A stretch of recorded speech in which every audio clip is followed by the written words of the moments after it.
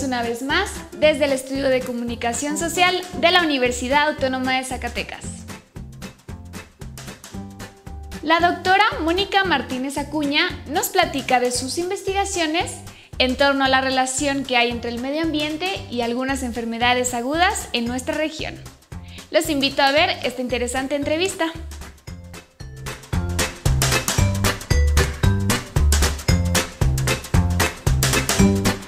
Actualmente soy encargada del Laboratorio de Epidemiología Ambiental, donde estamos desarrollando diferentes líneas de investigación con el fin de dar respuesta a la diversa problemática de salud que hay en el estado de Zacatecas. Estas líneas de investigación se enfocan en la epidemiología ambiental utilizando herramientas de la ciencia de datos. Estamos actualmente desarrollando un proyecto de CONACYT que se llama Determinantes Ambientales de la, de la leucemia linfoblástica aguda en el estado de Zacatecas y San Luis Potosí. También estamos este, desarrollando lo que es la salud ambiental infantil y caracterizamos diferentes entornos que pueden llegar a ser tóxicos para los niños que viven ahí, tanto cuestiones ambientales como cuestiones biológicas. En este caso eh, estamos viendo un equipo de Palintes que se llama Arsenator. Este equipo es muy útil sobre todo en comunidades alejanas donde se puede llevar a los sitios de estudio este equipo y se pueden hacer determinaciones de arsénico en los fuentes de consumo de agua, de consumo humano. Esto es de mucha relevancia ya que el arsénico es un contaminante que puede tener diversos efectos en salud, principalmente el efecto cancerígeno, es decir, la población que está expuesta a arsénico aumenta el riesgo de sufrir cáncer. También tiene algunos efectos en el desarrollo intelectual, sobre todo de los niños, sobre todo si está en coexposición a compuestos como flúor o otro tipo de, sales disueltas en agua. Hola, mi nombre es Mariana del Rocío Rubalcaba Ruiz, soy estudiante de la licenciatura de Ciencias Químicas y estoy realizando una tesis sobre validación de un método para medir arsénico en agua en matrices ambientales. Los contaminantes presentes en agua no son, no son la única amenaza a la salud ambiental. También se tienen otro tipo de contaminantes presentes en diversas matrices, para lo cual pues estamos instalando este equipo de cromatografía de gases que nos va a permitir analizar este, otros contaminantes y nos va a permitir conocer o describir diferentes entornos inmunotóxicos. Eh, ¿Por qué elegimos la leucemia linfoblástica aguda en el proyecto principal o rector? Eh, elegimos esa enfermedad porque es una enfermedad que es centinela de ambientes inmunotóxicos, es decir, si nosotros logramos identificar ciertas zonas donde hay mayor prevalencia o exceso de casos de esta enfermedad, nos está hablando que esos niños viven en un ambiente que no es saludable, lo que nos permite eh, enfocar los esfuerzos tanto de la investigación como también eh, de prevención de personal de salud como médicos y enfermeras para disminuir la probabilidad de que ocurra esta enfermedad. El Laboratorio de Neurofisiología de la UAS investiga las áreas del cerebro que tienen relación con nuestra manera de comer. ¿Quieres saber para qué? Acompáñenos. Eh, estamos aquí en el Laboratorio de Neurofisiología de la Unidad Académica de Medicina Humana. Eh, les voy a comentar rápido lo que hacemos aquí. Eh, es un laboratorio de investigación en el área de neurofisiología. Aquí lo que hacemos básicamente son estudios de cómo se comporta el cerebro y particularmente lo que produce, que es actividad eléctrica. Y si ustedes se dan cuenta, pues aquí tenemos una serie de equipos que detectan eh, la actividad eléctrica que lleva a cabo nuestro cerebro en diferentes condiciones, particularmente en trastornos de origen cerebral. Entre ellos podemos ver que eh, eh, podemos hablar un poco de un proyecto que tenemos hoy en, eh, en curso que es relacionado con el comportamiento de nuestro cerebro en el apetito y la saciedad. En este caso eh, valoramos algunos aspectos relacionados particularmente con núcleos del hipotálamo que intervienen en el hambre y en el de dejar de comer. de tal manera que eh, podemos llevar a cabo con el equipo ya sea estudios en humanos o tenemos otro equipo de este lado que está acá que es para llevar estudios con modelos animales. En este caso es muy importante considerar que el problema de la obesidad, aunque tiene muchas aristas, el hecho es que hay ciertas conductas que están básicamente relacionadas aquí en el cerebro o llevadas a cabo aquí en el cerebro. Y estas, eh, estas partes del cerebro pudieran estar alteradas propiciando que nosotros tengamos alteraciones en la conducta de comer. En este caso, eh, en modelos animales, sí lo que hacemos es implantar electrodos aquí adentro y registrar estructuras que están relacionadas con eh, el acto de comer. Pero también lo que hacemos es estudios en humanos en los cuales ponemos entonces electrodos como los que vemos aquí y entonces registramos la actividad eléctrica que hace nuestro cerebro en diferentes condiciones. Por ejemplo, si nosotros entonces tenemos hambre, entonces aquí capturamos la actividad eléctrica, la registramos aquí en este aparatito que ustedes están viendo y entonces podemos en esta computadora registrar qué es lo que está haciendo nuestro cerebro, particularmente cuando nosotros estamos en una condición. Eso es lo que hacemos en este laboratorio. Eh, cuando quieran, eh, gustosamente pudieran ustedes asistir y explicarles no solamente lo que hacemos en, eh, en nosotros los seres humanos, sino también lo que hacemos en los animales. En este caso, esto es lo que hacemos en el laboratorio de neurofisiología de la Unidad Académica de Medicina Humana. En la posta UAS le ofrecemos una gran variedad de carnes, lácteos, embutidos, sazonadores, huevo orgánico y desde luego las especialidades en cortes finos, birria preparada y quesos producidos en la Unidad Académica de Veterinaria de la UAS. Visítenos en nuestras tres sucursales. Sí, mira, el hospital le ofrece servicio de consulta, eh, se toman rayos X, se hacen biometrías bioquímicas sanguíneas, ultrasonidos, este, cirugías. Sí, es al público en general abierto. Pueden traer aquí a sus mascotas. También hay servicio de hospitalización. Hospitalización y, y sí, es, es público para, todo, para todas las personas que gusten traer así aquí a sus mascotas. El horario es de 9 de la mañana a 3 de la tarde de lunes a viernes y el, pues está aquí en el, en el campus en el siglo XXI en la UAS, estamos aquí ubicados en, en el campus. Pues no, que traigan aquí a sus mascotas, este está, pues se da un buen servicio y este no, no es caro el lugar, es accesible a precios. Las milenarias técnicas de la medicina tradicional vietnamita están a su disposición con médicos del Hospital Nacional de Acupuntura de Vietnam. La Universidad Autónoma de Zacatecas ofrece el tratamiento al público en general de una gran cantidad de padecimientos en su clínica de acupuntura. Consulta previa cita a muy bajo costo. El docente de la Unidad Académica de Contaduría y Administración, Víctor Hugo Galicia Soto, Responde a las preguntas de nuestros espectadores en esta nueva sección de Finanzas para Todos.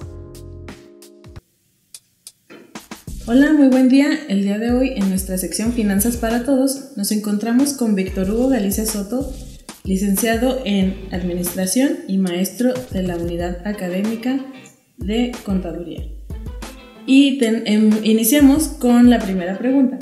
Es del señor César Camarillo Pacheco, que pide un consejo sobre una inversión para su jubilación de 320 mil pesos.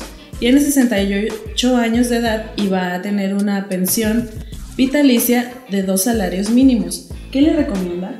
Bueno, sin lugar a dudas que es una mm, pregunta interesante porque suele suceder justamente cuando las personas están por jubilarse, qué es lo que tenemos que hacer con los recursos. En ese sentido es muy interesante que la persona que nos está pidiendo la, eh, pues la recomendación eh, vea que la posibilidad que tiene, primero con los recursos que va a recibir de su pensión, tenga la posibilidad de invertirlo en un fondo de inversión. La recomendación es que tenga un fondo de inversión, aperture un fondo de inversión que le permita tener condiciones para que al final de, su vida eh, laboral eh, durante su estancia de jubilación pueda tener la posibilidad de contar con recursos. El fondo de inversión que le recomendamos nosotros es aquel que pueda tener utilidad de él que pueda usarlo de manera prácticamente diaria, que le dé liquidez, porque el hecho de que reciba su pensión, pues obviamente le va a permitir tener o contar con recursos suficientes para hacer eh, frente a sus necesidades inmediatas. Entonces la recomendación en este caso sería que aperture un fondo de inversión que le va a permitir tener las condiciones de liquidez y además ir ahorrando o bien que tenga algunos rendimientos sobre el monto que puede invertir. Es muy importante que cuando vaya con su le diga que es un fondo de inversión con liquidez, es decir, que lo tenga disponible o disponibilidad diaria para que alguna contingencia pueda hacer frente a ella. Esa es la recomendación que le damos.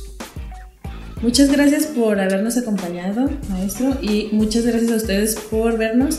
Y nos pueden escribir a la dirección que tenemos en pantalla si tienen alguna duda o pregunta para que en respecto a finanzas. Una vez más, la antropóloga Adriana Macías nos trae otro interesante tema. Esta vez se trata del juego. Hoy les voy a hablar de un tema muy divertido, el juego. Seguramente ustedes han jugado montones de veces, algunas veces pues solos, otras veces con gente, pero también no solo jugaron de niños, sino también en la época adulta. El juego es una actividad que se fomenta o se impulsa para hacer vínculos entre, entre personas. Generalmente en épocas este, prehistóricas o históricas eh, se relaciona con la motivación a fomentar vínculos, a desarrollar otras habilidades como el, bueno, como el orden, como el, la constancia, como este, bueno, aparte el, fomentar vínculos de asociación. Y en ese sentido, pues bueno, podemos ver que el juego se practica desde épocas muy remotas, sin embargo no existen registros materiales de la época prehistórica, pero por asociación y comparación con poblaciones de chimpancés, pues se puede ver que el juego es una actividad que permitía preparar a los niños para la vida adulta, por ejemplo, para hacer actividades de casa, de recolección, de defensa o de protección. Pero, ¿qué juegos jugábamos? No sé si ustedes eh, recuerdan, por ejemplo, juegos tradicionales de México como el bebé leche. Sin embargo, el origen de este juego no se considera netamente mexicano. Se considera que era un juego que era un ritual de paso entre niñas que fomentaba, por ejemplo, lo que era este, la constancia, la perseverancia, el orden, el cumplimiento de metas. Sin embargo, no es netamente mexicano, insisto. Había otro juego que consideramos también tradicional y que no es del todo tradicional como el trompo. Este viene, en los primeros registros existen en Roma y este, hay otros, otros países donde también se practica el, juego del trompo. Lo que hace o que fomenta es el equilibrio, el, enfocarse, el realizar, por ejemplo, eh, constantemente una capacitación y pues bueno, de esa manera pues ejercitar la mente para, para retos mayores. Otro juego que es muy divertido y que seguramente han jugado en algún día de campo es el de costales. Generalmente pensamos que los únicos que jugaban eran los niños y no es así. Esta actividad se relaciona con las actividades agrícolas, por ejemplo con los hortelanos que iban, llevaban sus herramientas, recolectaban frutos y con los costales, pues bueno, jugaban y corrían. Esta actividad se relaciona a la preparación del cuerpo también para el calentamiento, aparte de la dispersión, pues bueno, permitía hacer pues otros objetivos, cumplir otros objetivos. El yoyo también es un juego que nosotros los mexicanos pensamos que es tradicional, pero sin embargo se relaciona con poblaciones o con orígenes de Filipinas o Europa y prácticamente se cree que llegó a América por, eh, bueno, por, por el comercio. Este juego, pues bueno, era relacionado más que otra cosa con actividades de casa. Era un instrumento que con la práctica se logró este, perfeccionar y hacer más eficiente. Prácticamente nosotros podemos jugar a muchas cosas y en la actualidad existen juegos que nos vinculan con nuestra historia y nuestro pasado o que nos retan a pensar. No sé si han jugado maratón en grupo y donde generalmente se corre o se juega contra la ignorancia pues los reto a seguir jugando y a preguntarse de dónde viene la tradición de los juegos que ustedes practican. Gracias.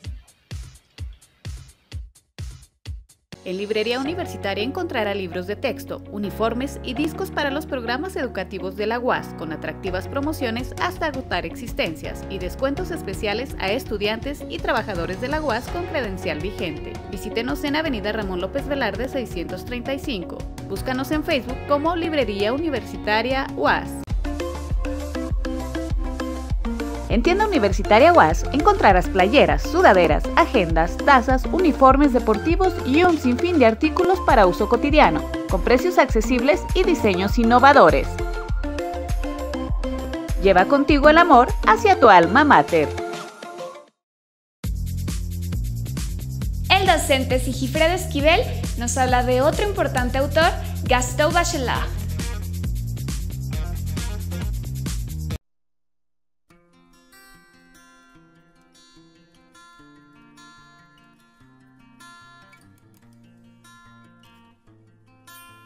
B de Bachelard, Gastón Bachelard o La ensoñación infinita.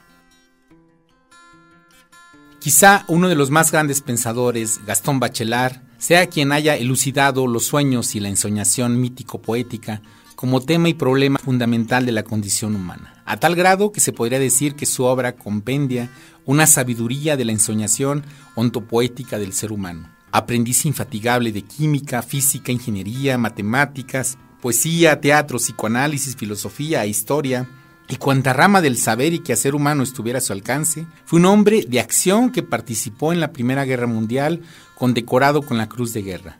Después de una carrera meteórica y original en la historia de la filosofía de las ciencias, la cual le valió aportaciones decisivas al pensamiento moderno crítico de la ciencia al replantear por completo la mirada epistemológica sobre la ciencia y también en retroalimentación. Con este incesante trabajo desplegó una relectura inédita de la perspectiva filosófica en general. Sus principales conceptos, ahora vueltos moneda corriente como ruptura epistemológica, espíritu científico, materialismo racional, constructivismo epistemológico, racionalismo aplicado, entre otros muchos, son contribuciones fundamentales al pensamiento moderno y contemporáneo. Su crítica, creativa y flexible de la razón y del racionalismo, ubican un parangón en las tres críticas kantianas como replanteamiento de la metafísica legada por Platón y Aristóteles. Su lúcida problematización de la ciencia moderna le amerita estar en el Olimpo del pensamiento moderno. Pero no se quedó ahí, fue mucho más allá de eso. Se podría decir que su pensamiento y su escritura, a diferencia de Kant, siempre están yendo más allá de sí, de sus límites, extenuando sus posibilidades hasta el cansancio y el riesgo incuantificables. Por ende, no es mera casualidad que la originalidad creativa de su búsqueda interminable lo condujera, en el cenit de su prestigiada carrera intelectual, casi de manera natural, a seguir buscando y hurgando en una antropología poética fundamental en torno a la imaginación, los sueños y las ensoñaciones. Al final de su vida, Gastón Bachelard retrotrae la razón humana a los límites de la imaginación radical pura, es decir, al infinito y más allá, como diría Buzz Lightyear despliegue de lo indeterminado como apertura, caleidoscopia interminable. La potencia de la imaginación humana reside en trascender toda determinación. Gastón Bachelard. B de Bachelard. Gastón Bachelard o la ensoñación infinita.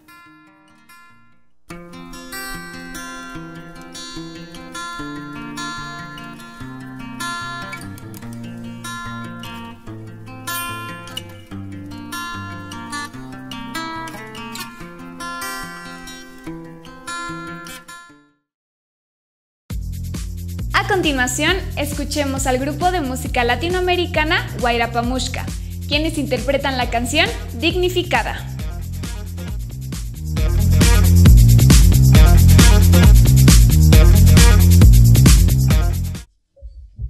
Ok, eh, la siguiente canción la vamos a dedicar a Digna Ochoa y Plácido, a 20 años de su asesinato no esclarecido todavía. Esta canción se llama Dignificada.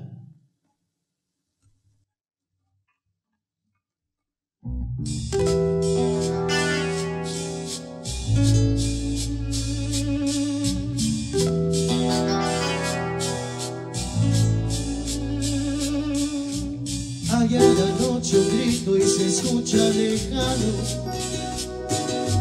Cuentan al sur, es la voz del silencio.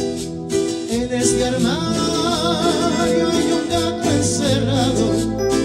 Porque una mujer, porque una mujer defendió su derecho. De la montaña se escucha la voz de un rayo es el relámpago claro de la verdad. En esta vida santa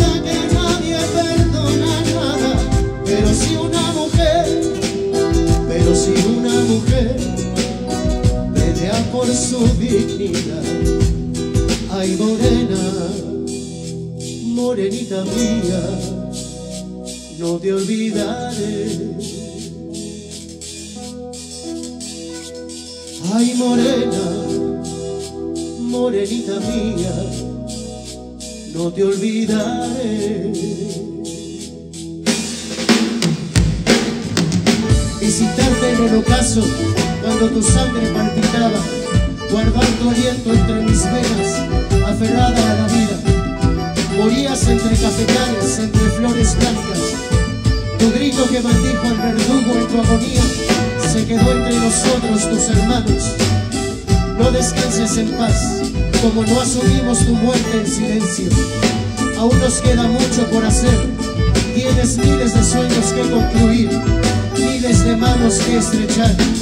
Nos reclama la vida tu otro esfuerzo, construir un país distinto, con gente distinta. Seguimos juntos digna en este sueño.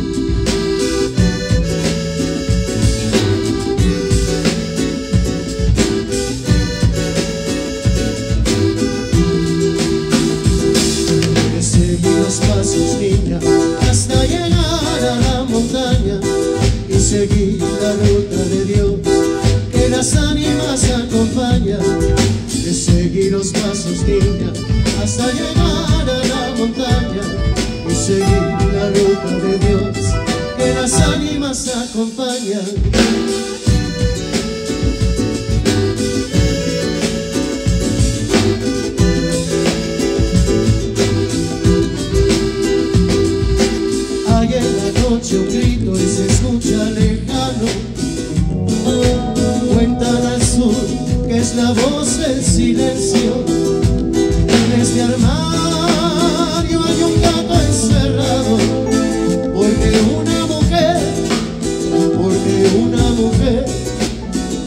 Defendió su derecho. En la montaña se escucha la voz de un rato el relámpago claro de la verdad. En esta vida santa que nadie perdona nada, pero si una mujer, pero si una mujer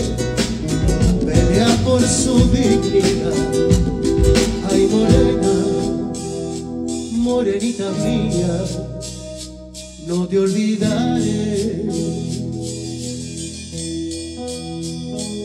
Ay morena, morenita mía, no te olvidaré.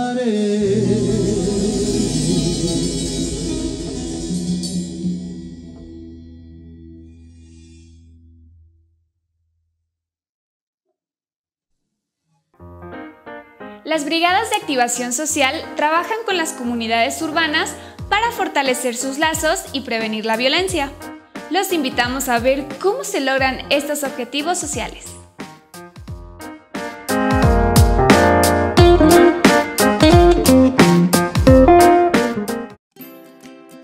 Hola, ¿qué tal? Yo soy Sara Miranda, soy psicóloga y egresada de la Universidad Autónoma de Zacatecas. Actualmente estoy colaborando con las Brigadas de Activación Social, que como ya saben es un grupo que intenta trabajar en las comunidades de Zacatecas, en particular en el municipio de Guadalupe. La intención es poder trabajar con distintas comunidades, con distintas edades, niñas, niños y adolescentes y adultos para poder mejorar nuestras comunidades a través de la prevención de violencias y pues la seguridad ciudadana. Fortalecer estos grupos es muy importante, por ello la necesidad de que muchos de los egresados de la universidad podamos colaborar con este tipo de grupos y regresar un poquito de lo que la universidad nos ha regalado. El propósito de las brigadas, pues su nombre lo dice, es la activación social. Y esto lo hacemos mediante diferentes actividades. Nos concentramos no solo en una comunidad, sino que buscamos este, estar en varias comunidades diferentes en diferentes grupos de edades, no solo como en un grupo específico, sino que tratamos con niños, niñas, este, adolescentes, adultos, cualquier, cualquiera se puede unir realmente. Y las actividades que hacemos son diferentes, como la reactivación de espacios o el recomodo de espacios públicos de diferentes maneras, desde limpiando como tal la zona cuando está muy muy sucia haciendo jornadas de limpieza o no sé, haciendo huertos urbanos o talleres a niños. Y no solo damos talleres a niños, sino que también se nos da talleres a nosotros para capacitarnos y saber este, pues, qué hacer, ¿no? Eh, una de las actividades que hacemos, bueno, que en las que hemos estado participando es en lo de la reforestación de la bufa como tal, este, y eh, en huertos urbanos, los huertos urbanos los hacemos en diferentes colonias, ahorita tenemos uno en Gavilanes, también tenemos uno en la comarca. Este, cualquier colono puede participar, ya sea plantando o, cosechando. Incluso tenemos lo que es la composta vecinal, eh, lo que ustedes ven como basura, pues ahí la composta comunitaria funciona para hacer más ágil lo del huerto urbano. Y no solo eso, en el Centro Cultural Mirayacueto, que está ubicado en la comarca, tenemos todos los sábados actividades con niños y niñas entonces les damos actividades desde el huerto urbano hasta actividades artísticas de, que van en la elaboración de, de teatro, de, títeres, incluso grabados, cualquier cosa. Este, los niños se emocionan mucho por ir, tenemos mucha participación de ese lado. La intención es que a partir de la pandemia podamos generar nuevos procesos para interactuar que la pandemia no nos detenga y por ello eh, la necesidad de que muchas personas podamos sumarnos a este tipo de actividades. Es muy importante para nosotros como brigadistas estarnos profesionalizando constantemente. Por ello también las brigadas de activación social nos ayudan con distintas clases como eh, educación para la paz o educación popular.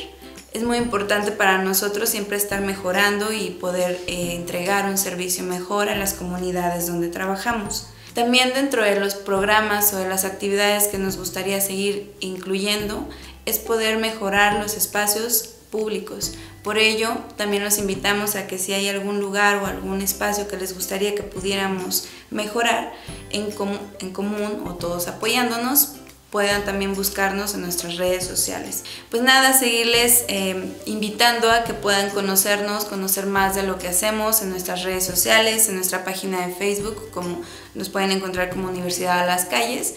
Eh, estas brigadas van para todos y son para todos y todas. Cualquiera puede unirse y cualquiera puede participar con nosotros y yo los invito este, no solo a seguirnos en redes sociales, sino que a unirse al proyecto como tal, porque es una actividad, son actividades muy bonitas que nos benefician a todos.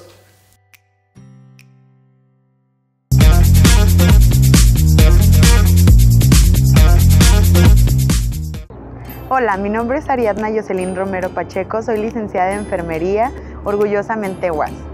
Actualmente trabajo en el Instituto Mexicano de Seguridad Social, en el área de Medicina Interna, Quirófano y Tococirugía. También trabajo en la Unidad Académica de Odontología en el área clínica como enfermera. Gracias a mi preparación académica que tuve en la Universidad Autónoma de Zacatecas, puedo cumplir con las metas y competencias que realizamos tanto en el Instituto Mexicano de Seguridad Social como en el área clínica de odontología. Siento que mi preparación ha sido tan integral que he podido lograr tal objetivo. Los invitamos a conocer una nueva publicación académica del proyecto editorial de la UAS.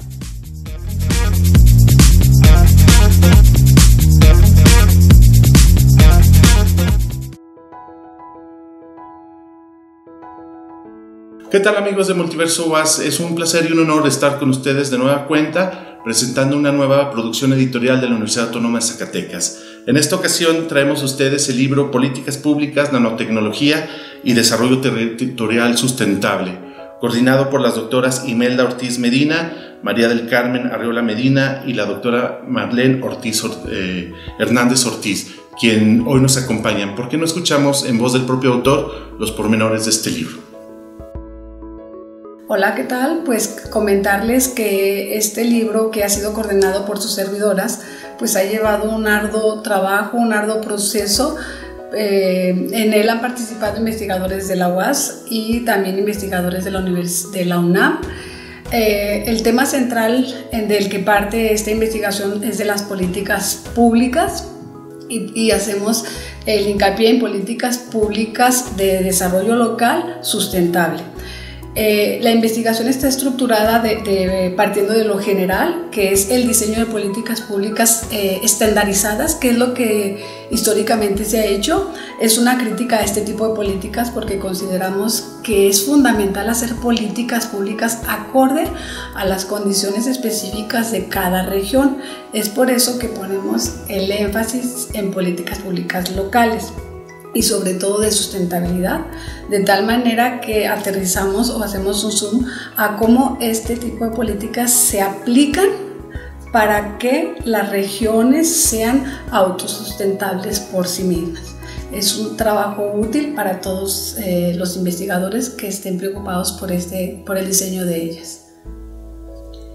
Otra de la temática diversa que contiene este libro es la nanotecnología, la cual engloba muchas áreas del conocimiento, entre ellas justamente eh, políticas públicas, desarrollo territorial sustentable eh, y productividad eh, local. entonces, bueno, la aplicación de la nanotecnología, como muchos de ustedes saben, es muy diversa, muy amplia. y tiene sus pros y sus contras, ¿no? Entonces en este libro se, se aborda justamente eso, eh, lo, positivo y lo no tan positivo de la nanotecnología, pero que forma parte de nuestro hoy en día. Como ya se ha dicho, tratamos de aterrizar los temas en el ámbito local. Por lo tanto, también abordamos un tema de interés para el Estado, que es la producción de frijol, tratando de engarzar el tema de la política pública y el tema de la sustentabilidad y la nanotecnología se revisa, se hizo una, una, ardua revisión acerca de la reconversión productiva como parte de la política agrícola, sectorial agrícola, y también se hace una revisión a conciencia de la parte de responsabilidad que tiene la producción de los bienes alimentarios, en este caso del grano, del frijol, en la, en la sustentabilidad. Como también eh, eh, hay una parte eh, que abonamos a este, a este cambio climático que se está viendo hoy en día. Se trata de dar alguna solución, un análisis. Eh, los invitamos a que, a que lean, a que conozcan el libro. Creo que es de gran utilidad en los temas ya mencionados. Gracias. Pues ahí tienen amigos en voz de los propios coordinadores del libro los pormenores de esta obra, la cual les invitamos a obtener de manera gratuita eh, solo es cuestión de que se pongan en contacto con nosotros en la página de Facebook del programa editorial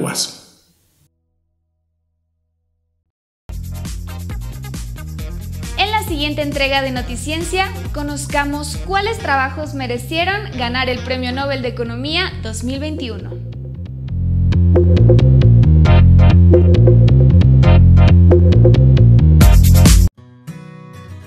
¿Qué tal? Bienvenidos a otra sección de Noticiencia donde estaremos platicando de temas muy importantes y con mucha relevancia para la sociedad. Juan Antonio, ¿cómo estás? ¿Qué tal, Fran? Pues como cada año hablamos de los premios Nobel y en esta ocasión pues terminamos ya con el último de los Nobel, el Premio Nobel de Economía.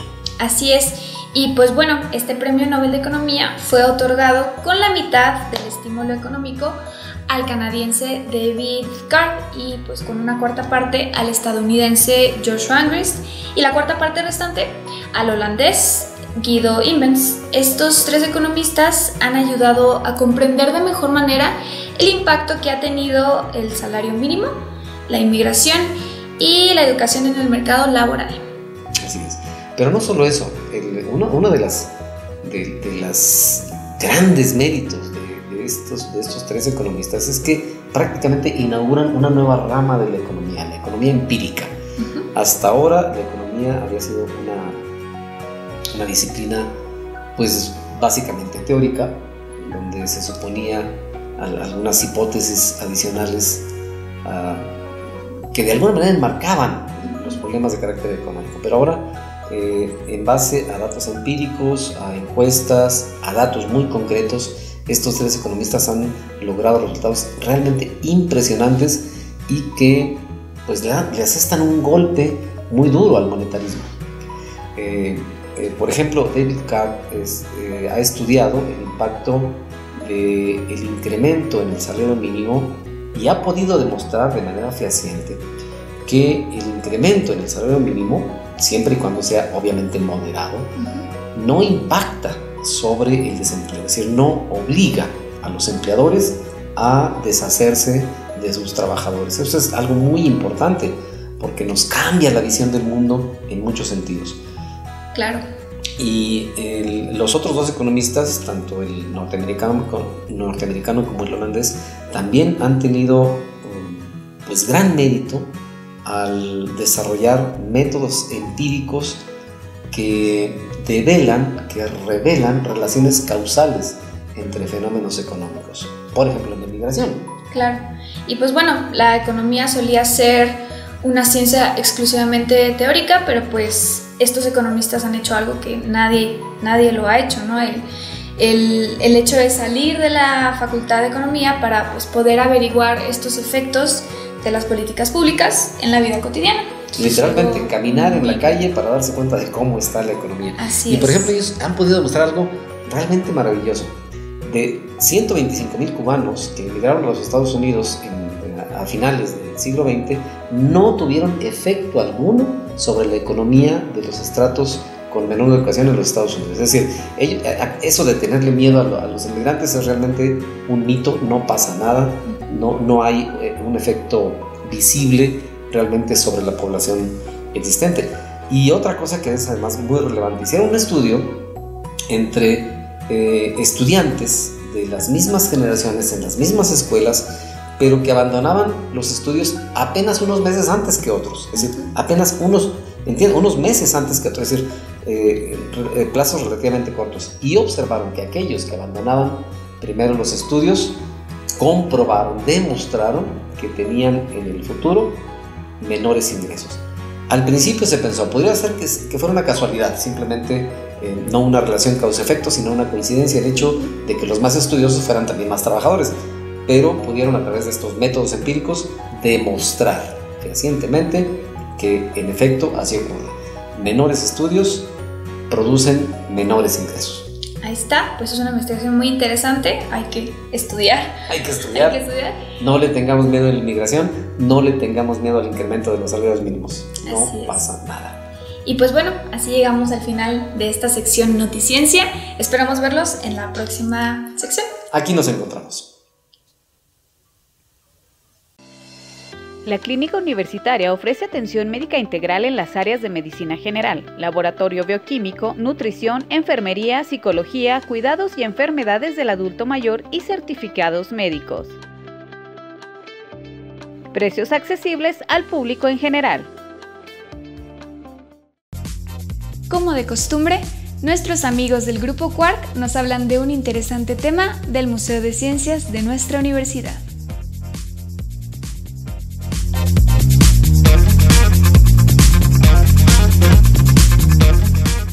Todo lo que sube tiene que bajar. Es una de esas grandes verdades que desde hace siglos y siglos la humanidad conoce, pero científicamente cómo logramos estudiar de manera mucho más clara la caída de los cuerpos. A pesar de que todavía no existía siquiera la ciencia moderna, Aristóteles dedicó mucho pensamiento a esta situación y él nos dijo que existían dos tipos de cuerpos, cuerpos leves que son ligeros y que tienen una aversión a caer y cuerpos graves que por su naturaleza, que sería lo que conocemos ahora más como pesada, tienden a precipitarse. De ahí que cuando se describe la forma en que caen los cuerpos, Aristóteles le llamó teoría de la gravedad. Y en su teoría de la gravedad, entre más grave fuera un cuerpo, más rápido iba a caer hacia el suelo cuando se le lanzara hacia arriba o cuando se le dejara caer. Por muchos y muchos siglos permaneció esta concepción hasta que llega Galileo Galilei, el padre de la ciencia moderna, y se decide a experimentar de manera mucho más rigurosa para ver qué tan cierto era.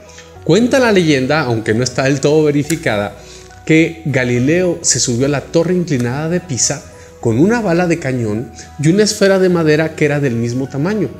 Las deja caer juntas y lo que se esperaba es que la que es mucho más pesada, o, diría Aristóteles mucho más grave, caería primero. ¿Cuál es la sorpresa en la demostración? Que las dos caen exactamente juntas. Años después, con estos avances, con estos experimentos y otras ideas, Sir Isaac Newton, eh, otro de los grandes físicos en la historia, desarrolla la ley de gravitación universal y nos aclara que la, caída es resultado de una fuerza de atracción que experimentan los objetos con el planeta Tierra. Esta atracción será mayor entre mayor sea la masa del objeto con el que estamos trabajando. Entonces, en principio uno diría, ah, caray, ¿cómo que Galileo demostró que caían los dos objetos juntos aunque tenían masas diferentes? Y Newton nos dice que la fuerza eh, es mayor con el objeto de más masa. Bueno, sí es mayor la fuerza de atracción, pero lo que ocurre es que hay otra propiedad asociada a la primera ley de Newton, la ley de la inercia, que nos dice que entre más masa tiene un objeto, más difícil es moverlo. Entonces, básicamente se compensan las dos cosas. Hay más fuerza de gravedad para la bala de cañón, pero también es más difícil moverla. La fuerza de gravedad es menor para la esfera de, madera, pero es mucho más fácil ponerla en movimiento. Se equilibran estos dos puntos y caen prácticamente juntas. Pero dirán ustedes, ¿qué pasa con los objetos muy ligeros como un pedazo de papel, una pluma de un ave, que los dejo caer y en el aire se nota que van frenándose, que se tardan mucho en precipitarse? pues sucede que aquí es el aire el que los va deteniendo. Y para eso nos sirve el tubo de Newton, para demostrar que cuando no hay aire, los objetos caen igual aunque sean muy ligeritos. A este tubo de vidrio se le extraía todo el aire y así podíamos dejar caer una piedra y un papelito o una pluma de ave y se veía que cuando no hay aire que los frene, caerán al mismo tiempo, tal como lo hiciera en su experimento Neil Armstrong cuando llega a la luna y deja caer una pluma y una piedra y en ese ambiente con muy poca atmósfera caen prácticamente juntos. Esta es la demostración detrás del tubo de Newton que fue llevada hasta la Luna. Muchas gracias por su atención amigos. Esto fue una cápsula del Museo de Ciencias de la Universidad Autónoma de Zacatecas.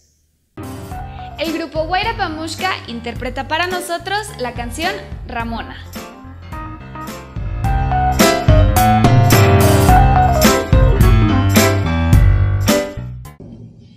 Hola, ¿qué tal? Somos el grupo Guairapamushka de la Universidad Autónoma de Zacatecas.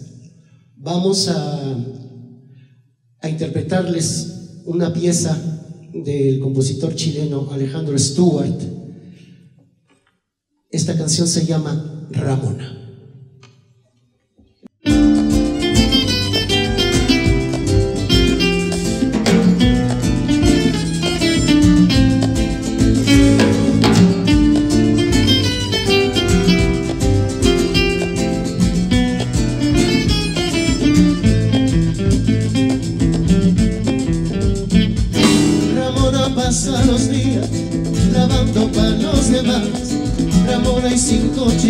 Que tiene que alimentar.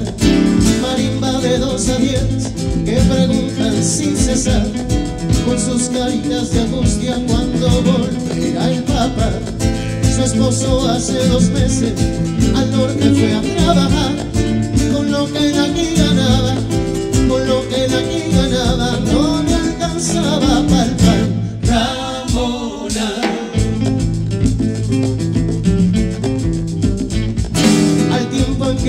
fue, Ramón empezó a notar que estaba esperando mi condón, no puedo con otro más.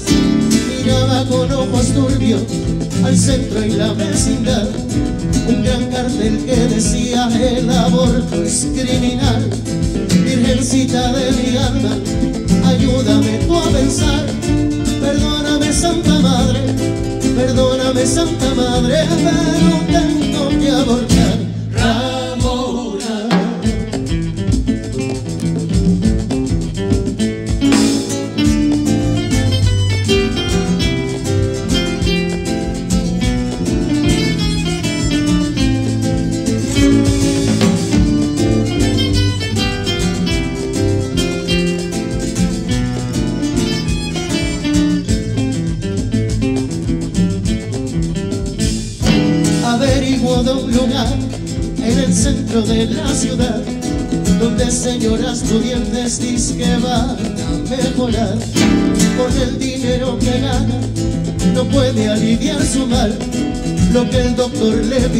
cada nación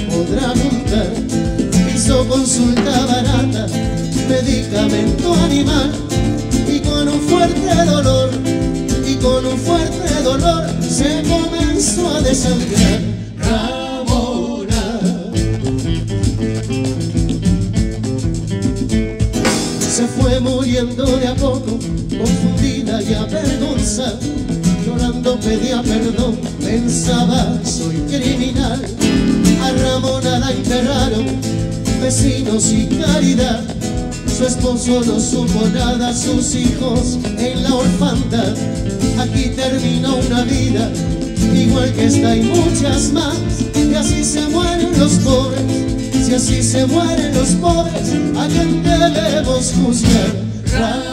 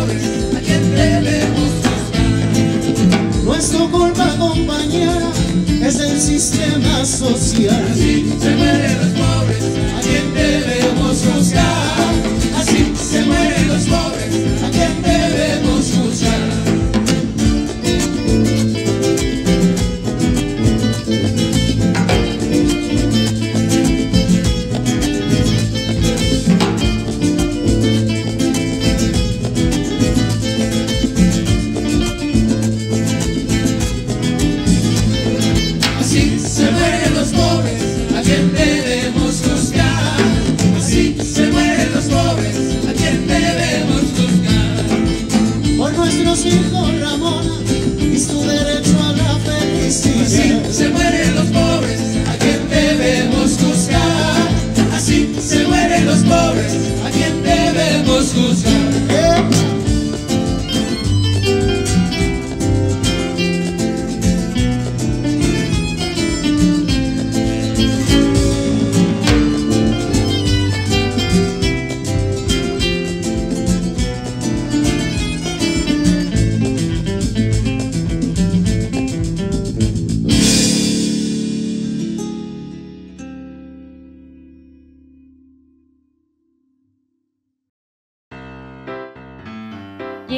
sí al final de este programa.